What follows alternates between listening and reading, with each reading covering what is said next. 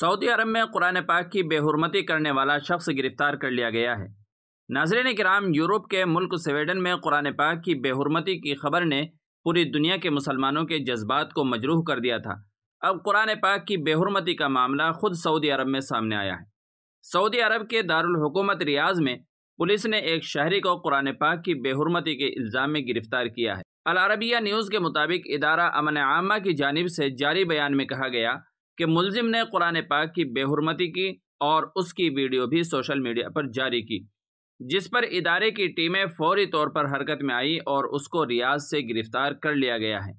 Police ने मुलजिम के खिलाफ मुकदमा दर्ज करके उसे मजीद कार्रवाई के लिए प्रासिक्यूशन के हवाले कर दिया। वाज रहे कि सऊदी अरब में ऐसे अफराद के ख़िलाफ़ बिला इम्तियाज़ और फौरी कार्रवाई की जाती है, जो इस्लाम और आदाब आमा के ख़िलाफ़ गलत हरकत करते हैं।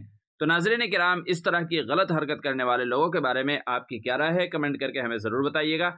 और चैनल पर पहली बार आए हों तो हमारे चैनल को आप सब्सक्राइब भी कर लीजिएगा।